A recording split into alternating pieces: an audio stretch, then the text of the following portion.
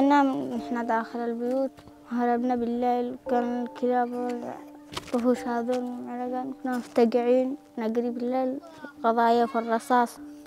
طبعا حملنا كم من شيوخ وقناة فلاشات وهذا وقعنا هني. جينا إلى هنا إلى هذا المخيم من 184 أسرة. حاولنا إحنا نسكن تحت الأشجار عندنا طابل معنا بطانة اللي قدرنا نستطيع أن نحمله. نحن وأطفالنا. بالبداية وصلوا المخيم إلى تحت الأشجار من عزلة اليمن وعزلة القحيفة في مديرية مقبنة مروبة من الصراع والحرب. إلى هنا فكانوا النازحين والأسر تحت الأشجار بدون أي خيم فجاءت مبادرة من أحد المبادرات وركزوا أول خيمة في هذا المخيم. وتوافدت المبادرات من كثير من الشباب والمنظمات وأسسوا هذا المخيم في 17 3 2021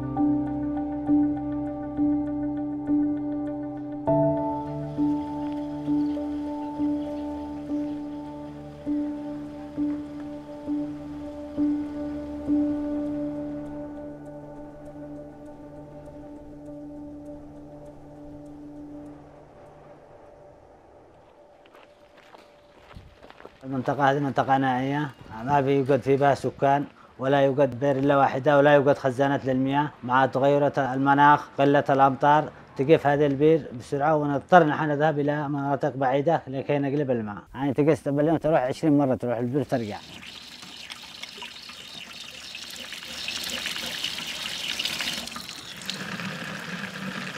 بير بعيد على المخيم صرحنا ندي مي باليوم ثلاث مرات نحمل دب عشرة.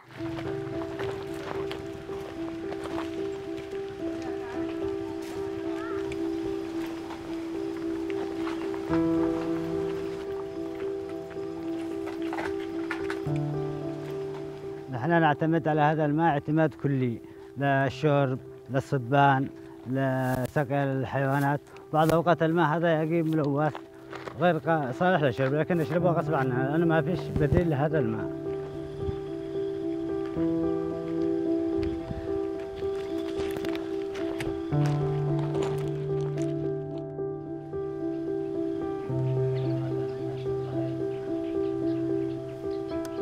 إحنا نروح نجيب الماء من مسافة بعيدة كل يوم. نجي ونستريح هنا لأن الطريق بعيد.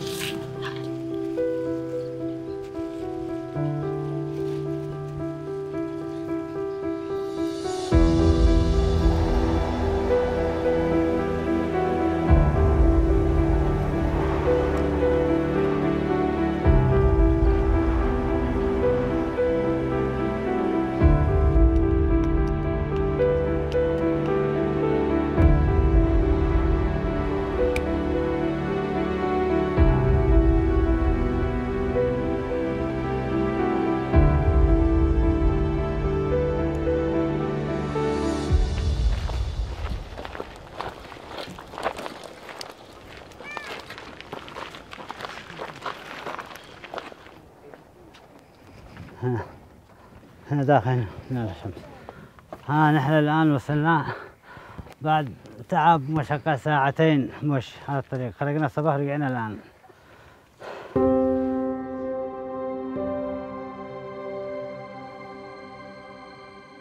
ساكنين هذا المكان. ورع المكان هذا إيش فرقوا نحن؟ نحن نازحين. مع حملنا مش حالنا. شو خرجوا نحن من المكان هذا؟ ما نحن شو عادوا وين نخرج وين نروح. من المكان هذا.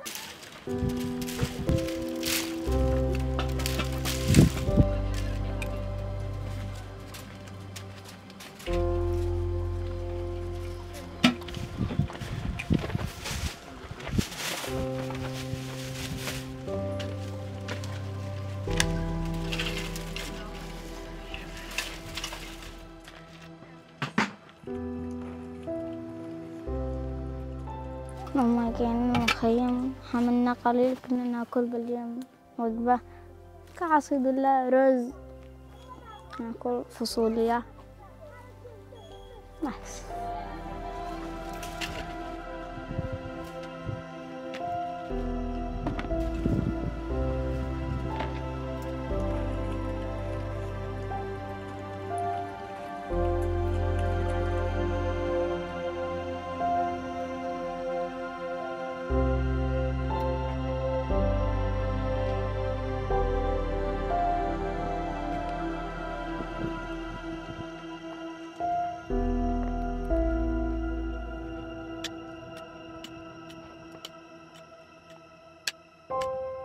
حاولنا إحنا زي مثل بامية طماط بسباس يعني أربع شقار خمس شقار يعني تخفف من المعاناة شوية. بس يعني محصولي يعني بالسنه مرة مرتين وتتأخر شهرين ثلاثة شهور.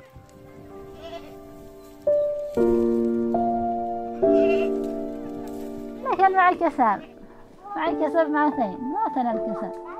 ماتن مرضين مرض قالهم لقيت لي معيش لا غنم ولا كسل. في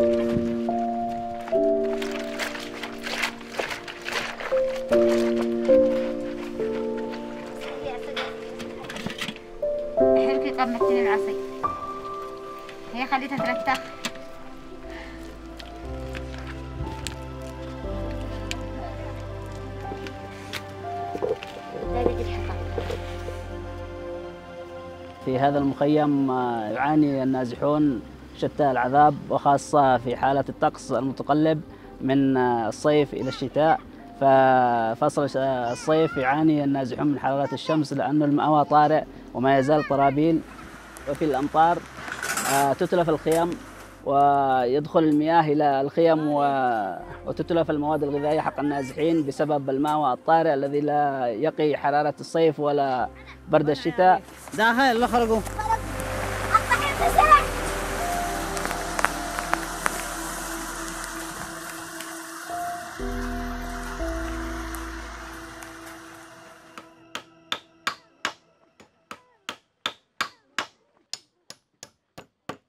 تغير المناخ يسبب لنا مشكلة كبيرة في المخيم.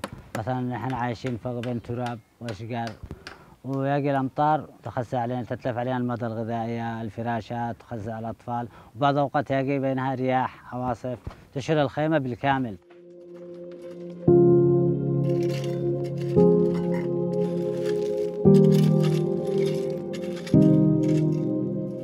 أنا عندما انهارت يعني الصحة المعيشية حاولت أنا أشتغل والأسرة حقي رفضوا خروجي من المنطقة بسبب ما قدرش يجلسوا لحالهم هنا.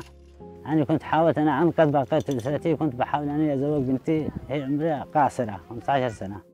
كنت حاولت أن أزوجها لكن رفضت وحاولت عليها ما قدرت. يعني أريد أن أنقذ الأسرة من هذه الحياة.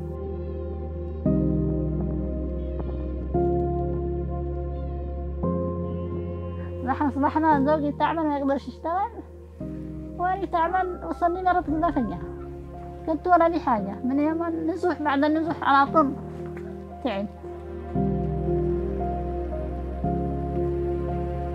مرتي الآن تعبانة قالي خمسة شهور عاري نفسها كان في بالغدة الدرقية. لو معنا مريض ما نقدرش نوصل المدينة إلا بعد مشقات.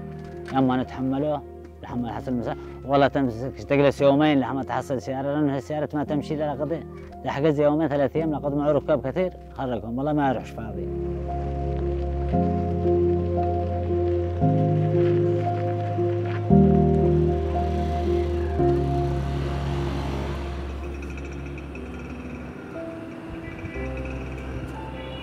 كنت ما أقدرش أتنفس تعب. كنت تعبان كنت مكتمة ما من هذا الفطور ما أقدرش يشلوني عقل عالجت عالجت كذا تحسنت شوية بس مهدية. كنت بس يوميا طلعت نزلت طلعت نزلت.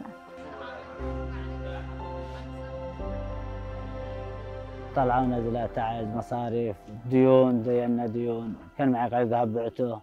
لحد الآن عاد تعبان ما أتشافى ولا أنا آخر مرة متى قدام 20 يوم كذا المستشفى الحين معي مراجعة لمدة سنة شهريا للمستشفى لا تعز.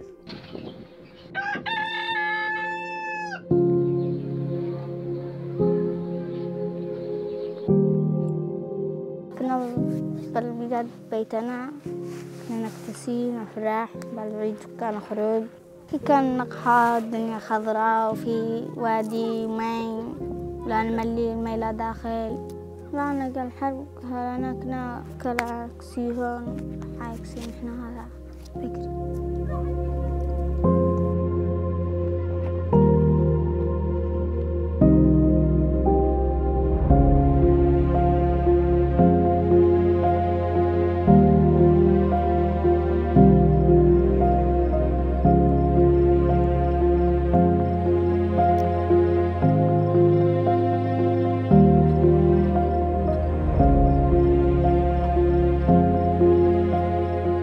أطفالي منهم معي ثلا- سبعة نحن تسعة. هنا في البلاد كانوا يروحوا للمدرسة لكن الآن مع عندما نزوح سلم المدرسة الصباح ما يروحوا ما يرضوش يروحوا. قالوا نحصل مجانين نحصل يعني تخوفوا يحصلوا يعني ناس غربة يستحوا ما يروحش للمدرسة بعض الأوقات يلقاهم من الطريق.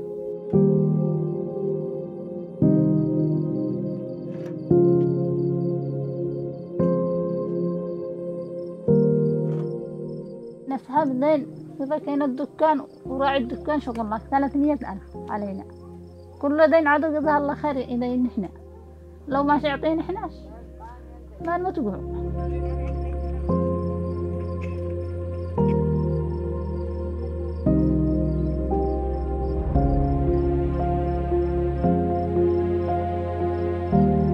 اليوم نعمل وجبة واحدة.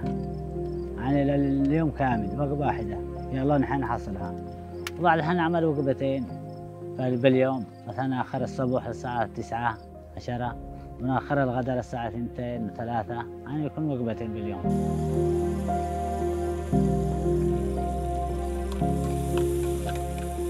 طالهات ما نعمل لهوش والله يكون جياع لا والله نصبروا نحن نرجع نصبر نلقاها لا فيك حالاتي تحرتتو.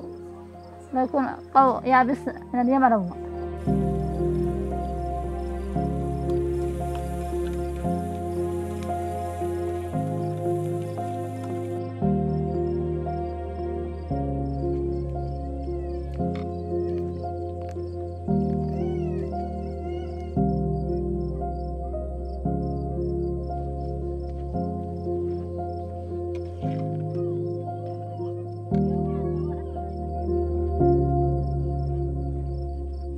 اللحوم هذه الفواكه هذه ما نحصلهاش خالص مش غير موجودة عندنا بالأساس. إلا يعني من العيد للعيد حصل لحمة كذا بعرفها عن طريق لغة منظمة ولا فاعل الخير والزيع نحصل عليها. إن كان أساسا مش موجودة يعني من الأساسيات